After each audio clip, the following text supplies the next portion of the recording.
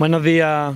A todos y a todas y como siempre gracias, agradecidos porque estáis en esta convocatoria de prensa que hoy tengo el honor eh, de dar con Manolo Monereo, con mi compañero y amigo Manolo, eh, que sabéis que es el diputado de Unidos Podemos por la provincia de Córdoba y donde vamos a poco a explicar desde nuestro punto de vista eh, cuáles son los resultados de los presupuestos generales del Estado que ha hecho el gobierno del Partido Popular y el gobierno de Mariano Rajoy eh, para la provincia de Córdoba. Sabéis que la provincia de Córdoba, eh, lo hemos dicho muchas veces, es una de las provincias donde más desempleados y desempleadas hay y además donde más desigualdad hay de todo el Estado y una de las provincias, eh, una de las regiones de Europa donde más se acentúan estas desigualdades.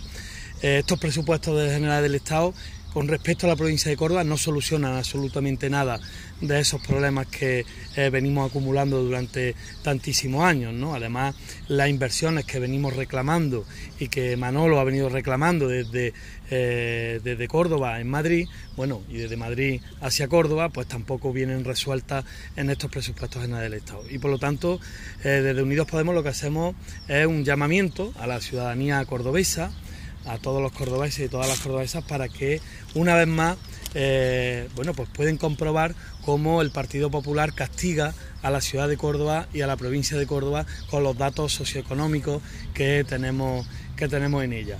Y hacer un, bueno, un poco de pedagogía política también sobre lo que suponen los presupuestos generales del Estado y su aplicación a la hora de la inversión pública que como sabéis eh, bueno pues sigue siendo una de las más bajas tanto por la Junta de Andalucía como por el gobierno central. Y con esto, con esta perspectiva, con este marco político, con este marco sociológico y con este marco económico, bueno, pues Unidos Podemos vamos a seguir trabajando por revertirlo, ¿no? Sabemos ya, porque son pues tres presupuestos más los anteriores que al Partido Popular le importa muy poco, igual que a Susana Díaz, la ciudad y la provincia de Córdoba y por lo tanto vamos a trabajar en las instituciones con, con nuestros diputados y con nuestros parlamentarios para revertir esa situación, pero también en la calle para bueno, pues intentar en la medida de lo posible, junto con todas las movilizaciones que se están dando, eh, bueno, pues intentar, como digo, revertir esta situación. Y yo sin más, bueno, pues le dejo a Manolo que concrete mucho más lo que suponen los presupuestos del Estado a nivel global, todo lo que supone eh, bueno, pues esa bajada que ha habido importante en todo lo que tiene que ver con lo social y cómo también se concretan en las diferentes enmiendas que Unidos Podemos ha venido haciendo en el Congreso. Bueno, deciros primero que todo, daros las gracias pero sobre todo deciros que, tenemos presupuestos, ¿no? Eh, es una cosa increíble, ¿no? A esta altura de la vida. Hasta para mí me sorprende, ¿no? Que hemos hecho unos, se han hecho unos presupuestos, en este caso a medida del PNV, ¿no? A medida de los terribles separatistas que dudan de la Sagrada Unidad de España, ¿no? Y que eso ha marcado toda la negociación Ciudadano ha sido convidado de piedra y la negociación real que ha habido es del PNV con el Partido Popular, consagrada por Mariano Rajoy. Para nosotros, no he dicho, ya no nos sorprende para nada esta situación y lo único que queremos decir un poco lo siguiente. Nosotros hemos presentado esta vez unos presupuestos alternativos. Eh, lo intentamos ya el año pasado, pero esta vez, conforme vamos profundizando en la unidad en nuestra propia experiencia política, presentamos unos presupuestos alternativos. Unos presupuestos alternativos donde intentamos demostrar que otra política es posible y que se puede hacer si hay voluntad política y si al final la crisis se ajusta para los de arriba y no permanentemente para los de abajo.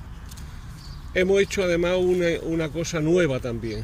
Hemos hecho unos presupuestos estatales y nuestra enmienda en función también de Andalucía. Es decir, eh, hemos hecho unos presupuestos y nuestra enmienda pactándola, organizándola, llegando a una síntesis con eh, tanto IU como Podemos de Andalucía, que juntos hemos hecho estos estas enmiendas con una gran voluntad de defender a Andalucía por encima de todo.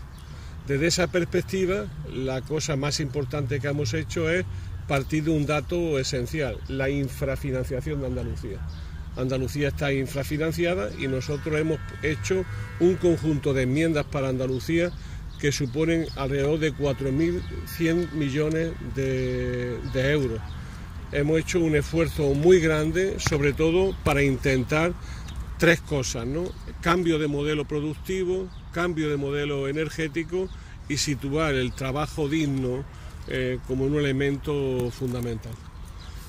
Eh, Córdoba, como ustedes saben muy bien, desde el año 2015 sigue estando en crecimiento por debajo de la media andaluza, desde 2015. Este año Córdoba va a vivir un doble récord. El primer récord es que va a ser la provincia que menos crece de Andalucía y que este año lo que ha recibido y lo que va a recibir de parte del gobierno ha sido la continuidad del 17.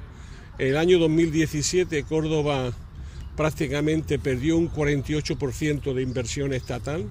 Córdoba ha recibido un 6,7 eh, millones de euros simplemente del Estado y por tanto eh, no consigue Córdoba revertir su mala situación con los presupuestos públicos, tanto de Andalucía como del Estado.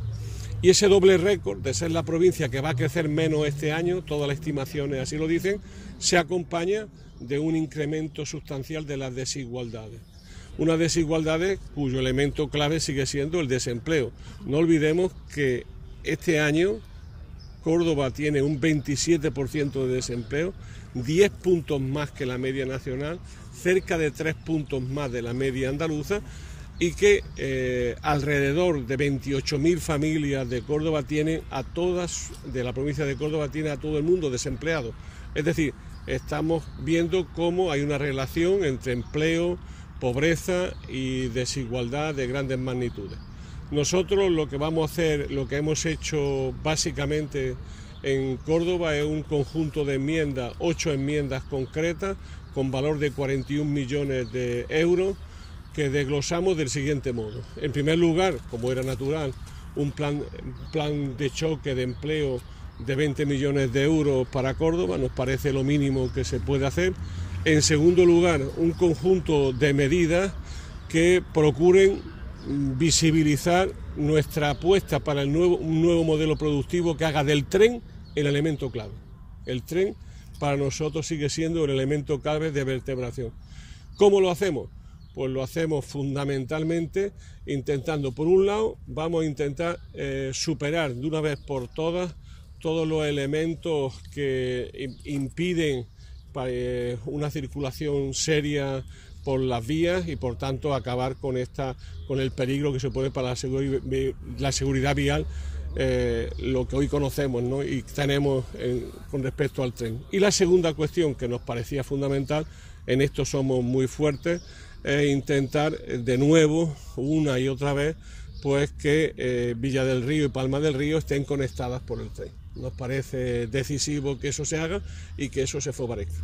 Y no solamente eso, sino que vamos además a apostar por un conjunto de enmiendas que hemos hecho que tienen que ver con eh, el Guadalquivir y, la parte del Guadalquivir que, zona, que está por la zona para intentar hacer una cosa seria, profunda y aprovechar nuestros métodos para crear empleo, que es lo que nos interesa. En definitiva, hacemos un conjunto de enmiendas que ponen el trabajo digno, el cambio de modelo productivo y que intentamos que salga Córdoba de la postración en la que vive. ¿Desdoblamiento de la Badajoz? Efectivamente, también? ya está presupuestada, lo hemos hecho y no solamente eso, ese desdoblamiento, sino también una, una nueva salida para la A4. Es decir, todo eso está en marcha y está funcionando. Y además lo hacemos con, con insistencia, porque estamos convencidos de que, de que tarde o temprano eso se tendrá que vehicular. Lo que nos preocupa enormemente, lo digo con mucha sinceridad, nos preocupa enormemente es que Córdoba siga siendo cada año algo así como la última de la fila de Andalucía. ¿Por qué? ¿Qué, mal tiene Córdoba? ¿Qué problemas tiene Córdoba para que tanto la Junta de Andalucía como eh, el gobierno estatal siga discriminando a Córdoba? O sea, a nosotros nos parece que o una de dos, o es que hay una política de persecución a Córdoba, o que creen que los cordobeses y cordobesas están dispuestos a aceptar todo. ¿no? Yo creo que habrá que pensarse en serio, eh, movilizar a nuestra ciudadanía de Córdoba y provincia y decirle que Córdoba tiene futuro y se merece conquistar un futuro digno para su gente. ¿Por qué? Porque al final todo el mundo está de acuerdo, pero nada se hace, que es envejecimiento y despoblación, envejecimiento y despoblación. Y nosotros creemos que eso se tiene que superar, cueste lo que cueste. Ya que estáis aquí los dos, podéis valorarnos cómo van las conversaciones para la confluencia en las municipales. Pues a mi juicio de modo excelente. Es decir, eh, la unidad nunca ha sido fácil, no lo es. Los partidos políticos en su vida interna ya te puedes imaginar cuando son cosas diferentes. Pero nuestra convicción más profunda es que no hay alternativa a la unidad y que la unidad se va a imponer por su propia lógica. Como siempre, cediendo, pegando tirones uno y otro, pero desde el convencimiento de que somos un instrumento para la ciudadanía. Andalucía se merece una alternativa, el Estado español, España se merece una alternativa y esa alternativa significa unidad, unidad y unidad. Es más, somos pocos, todavía hace falta una unidad mucho más amplia y hay miles de hombres y mujeres que deben de ser conquistados, ganados, imbuidos para esta unidad que debe ser lo más amplia posible.